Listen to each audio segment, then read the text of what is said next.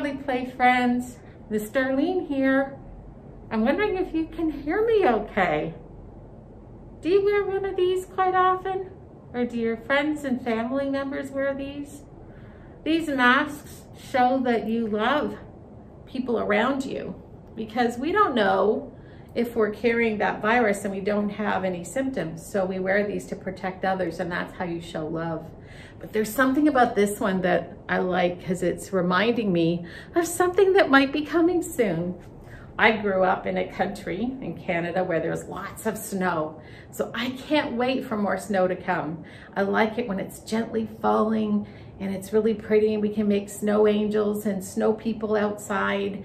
I don't like it when it's a blizzard and I don't like it when it becomes freezing rain. But the flip side of that is that we can go inside and have hot chocolate and cozy up with our families. So that's a, that's a good thing, as long as we keep our power. But then some of us have fireplaces.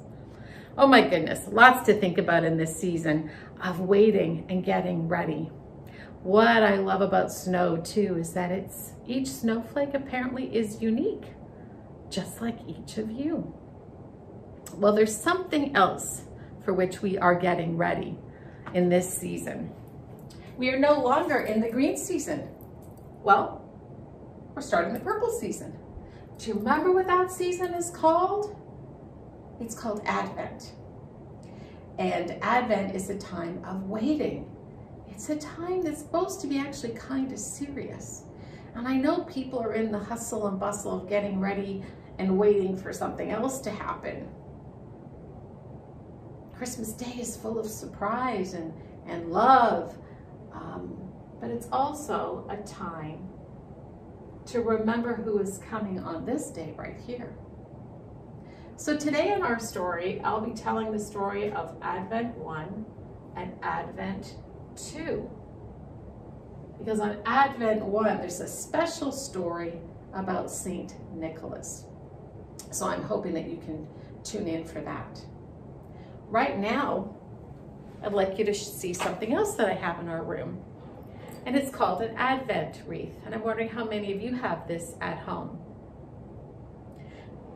We often decorate ours with greenery, uh, with pine cones, and that helps it look somewhat festive on our table. But purple is a time, a color of Advent, a time of waiting, and it's a time, it's a color for royalty. So when we light these candles, we have four Sundays in Advent to get ready. And if you were here with me, we get to sing this Advent song. You might remember it. Light one candle to watch for Messiah. Let the light banish darkness. He will bring salvation to Israel. God fulfills the promise. Light two candles to watch for Messiah. Let the light banish darkness.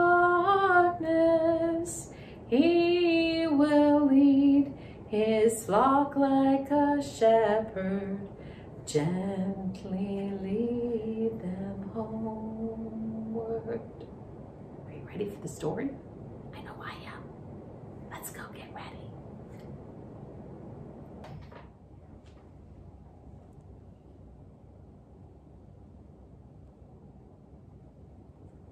Everything has changed. It is now the time of the color purple. Purple is the color of kings and queens.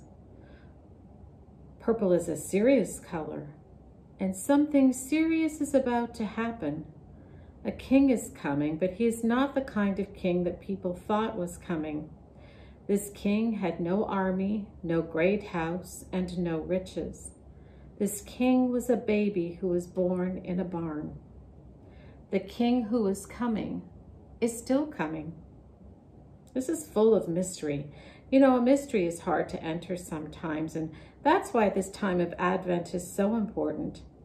Sometimes people can walk right through a mystery and not even know it is there. This time of year, you will see people hurrying in the malls, buying things and doing this and that, but they might miss the mystery. They may not know how to get ready, or maybe they just forgot. The church learned a long time ago that people need a way to get ready, to enter, or even come close to a mystery like Christmas.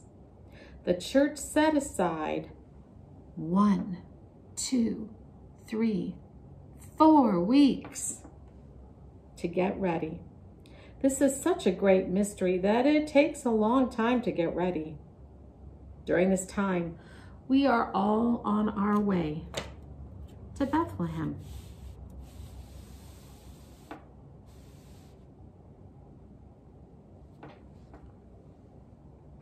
We are all making the journey. We are all getting ready to enter the mystery of Christmas. So let's go with the prophets, the Holy Family, the shepherds, the angels, the magi, and all the rest to make the journey that was not just back then, it is also now.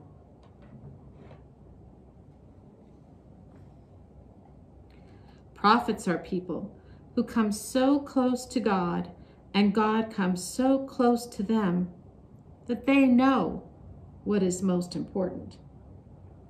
They pointed the way to Bethlehem.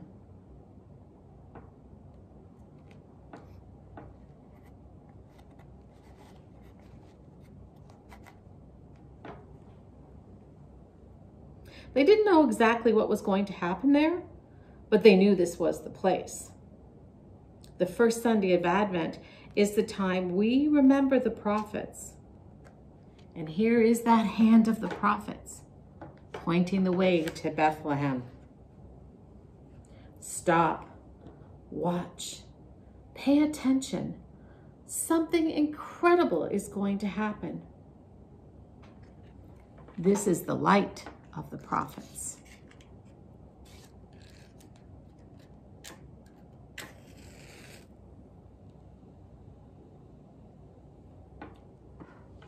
Let us enjoy this light. Prophets are the people who know the most important things. They knew which way to go. They are the ones who showed us the way. So now we can go to Bethlehem too.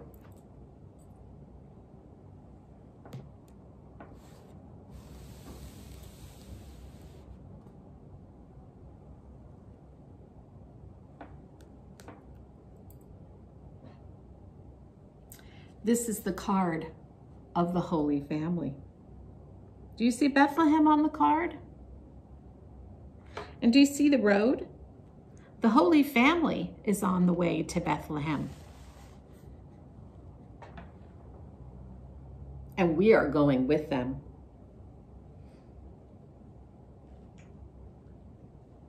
Here is the Mother Mary and Joseph and the donkey.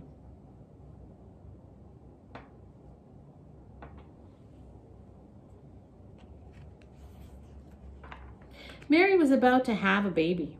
It is very hard to walk when you're about to have a baby. Sometimes she could ta not take another step, so she rode on the donkey.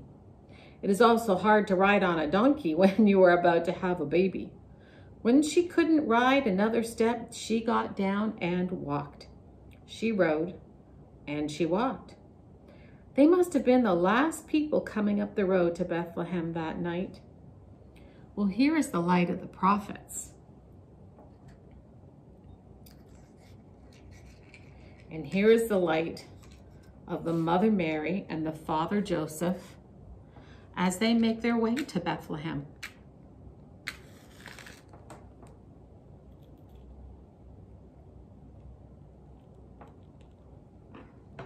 Let us enjoy both lights.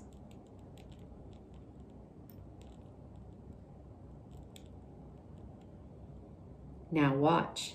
I am going to change the light.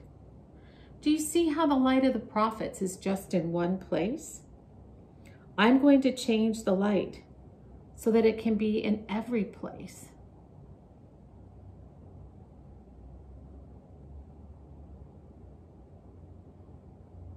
Watch. Do you see the light of the Mother Mary and the Father Joseph just in this one place? I am going to change the light so that it can be in every place.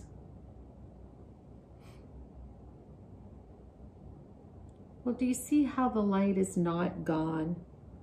It is not in one, it is not in one place. It's spread out. It got thinner and thinner to fill up the whole room. The room is filling up with the light of the prophets and with the light of the Mother Mary and the Father Joseph. Anywhere you go in this worship center, you can come close to them. Anywhere you go in your home, you can come close to them. Anywhere you go outside, you can go close to them.